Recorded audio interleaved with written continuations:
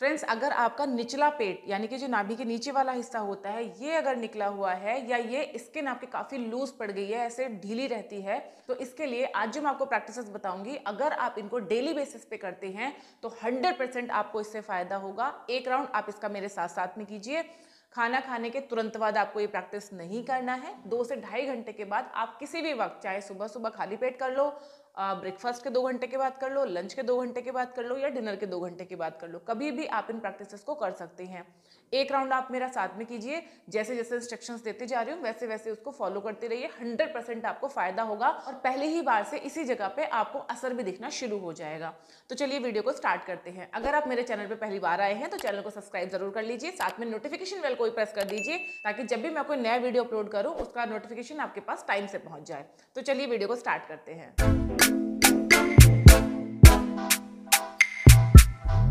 सो first exercise करने के लिए आप इस तरह से लेट जाइए। अगर आप बेड पे बैठे हुए हैं ना तो बेड पे भी बैठ के आप इस प्रैक्टिस को मेरे साथ में कर लीजिए। इस तरह से लेट जाएँगे, ऐसे। ठीक है? धीरे से अपने पैर को इस तरह से ऊपर उठाएँगे, ऐसे। ठीक है? ये आपने कर लिया।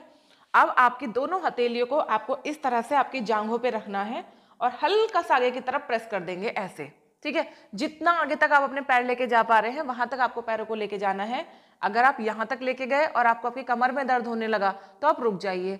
अगर आपको सिर्फ़ यहाँ पे बहुत ज़्यादा दबाव महसूस हो रहा है नाभि के ऊपर और थोड़ा सा नीचे की तरफ़, पहले आपको ऊपर की तरफ़ दबाव महसूस होगा और फिर जब आप इसको आगे आगे आगे आगे ऐसे इस तरह से सीधा कर देंगे तो आपको यहाँ पे नीचे की तरफ़ भी दबाव महसूस होगा। और अगर आप इस तरह से अब यहाँ पे छुएँगे ना तो आप देखोगे बिल्कुल एकदम टाइट हो गई है, यहाँ पे आपकी पूरी स्किन एकदम टाइट हो गई है। ठीक है? तो ये प्रैक्टिस आपको इसी तरीके से करना है। एक राउंड मेरे साथ में कीजिए। पैरों को ऊपर उठाइए।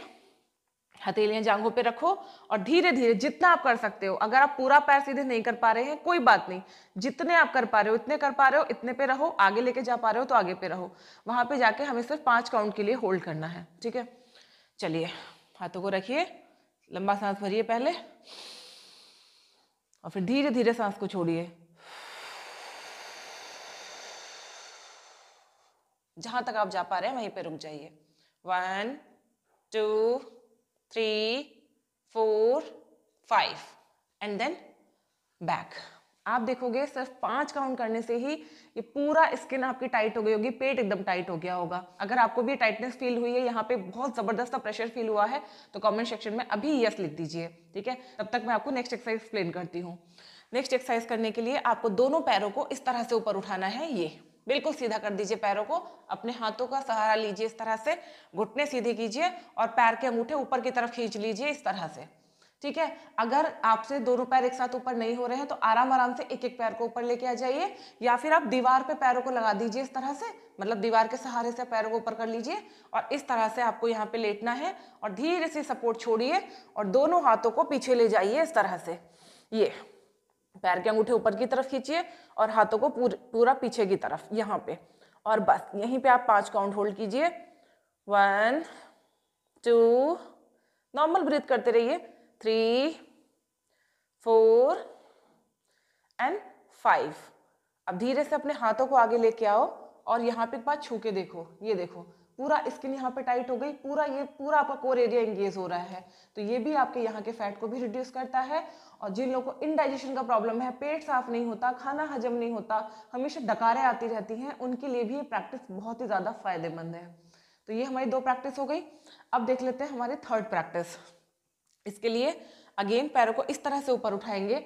ध्यान रखना आपका ये एंगल और ये एंगल दोनों 90 डिग्री बनने चाहिए। तो इस तरह से इसको यहाँ पे फिक्स कर लीजिए। ठीक है? अब आप चाहें तो अपने हाथ में कोई वेट ले सकते हैं, जैसे डंबल वगैरह ले सकते हैं या कोई बॉटल है तो बॉटल ले सकते हैं, या कोई तौलिया वगैरह अगर आपके पास रखी है तो आप वो ले लीजिए, ठीक है? जो भी आपके पास में है, उसको इस तरह से ऊपर की तरफ़ पकड़िए, वजनदारी चीज़ लेंगे तो ज़्यादा अच्छा है, इस तरह से। और अब पहले एक लंबा सांस भरेंगे, और फिर धीरे धीरे मुँह से सांस छोड़ते हुए इस तरह से हाथों को पीछे लेके जाएँगे, और यहाँ पे आके। यानी कि नीचे से कम से कम 30 से 40 डिग्री ऊपर आपको यहाँ आधे में आके रुक जाना है और यहीं पे पाँच काउंट के लिए होल्ड करना है। One, two, three, four and five. और फिर धीरे से इस तरह से, ऐसे, वापस और धीरे से पैरों को नीचे रख लीजिए। अभी मैं आपको सारी एक्सरसाइज का सिर्फ़ एक एक राउंड बता रही हूँ पाँच पाँच काउंट के लिए, ठीक है? ये आपको कम से कम तीन तीन बार करने हैं, जैसे पाँच, ये पाँच सेकंड के लिए होल्ड किया, फिर से इसको दो बार आपको सेम रिपीट करना है। पहले वाली को भी इसी तरीके से रिपीट करना है। तो ये प्रैक्टिस हो गई। अब देखते हैं हमारी नेक्स्ट प्रैक्टिस जिसके लिए इस तरह से अपनी दोनों हथेलियों को इस तरह से नीचे रखेंगे, ऐसे, ठीक है? अब ये जो कोहनियाँ हैं, बिल्कुल आपके कंधों के नीचे आएँगी।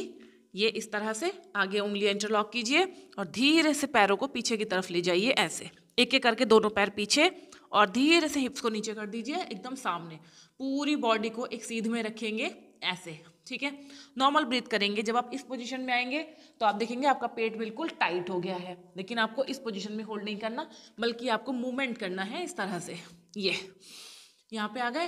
अब थोड़ा सा लेफ़्ट थोड़ा सा राइट लेफ़्ट, राइट, लेफ़्ट और राइट। ठीक है? सामने देखना है, कंधे बिल्कुल आपके सॉरी आपकी कोहनियाँ आपके कंधों के नीचे रहेंगी। ठीक है? तो इसके भी आपको कम से कम बीस मूवमेंट करने हैं। शुरू में दस करो, फिर धीरे धीरे जो है इसके रेपिटेशन को आप बढ़ा लो। तो इस तरीके से अगर आप ये मूवमेंट्स जो भी मैंने आपको बताए हैं, चार मूवमेंट्स अगर आप इनको एज इट इज़ करते हैं हर किसी के कम से कम तीन तीन रेपिटेशंस करते हैं और इतना ही देर के लिए करते हैं जितना मैंने बताया है तो हंड्रेड परसेंट आपको फ़ायदा होगा। कौन सी एक्सरसाइज आपको सबसे अच्छी लगी, चारों एक्सरसाइज आपने की या नहीं की, मुझे कमेंट सेक्शन में ज़रूर बताना। और आप किस टॉपिक पर वीडियो देखना चाहते हैं, वो भी आप कमेंट सेक्शन में लिख सकते हैं।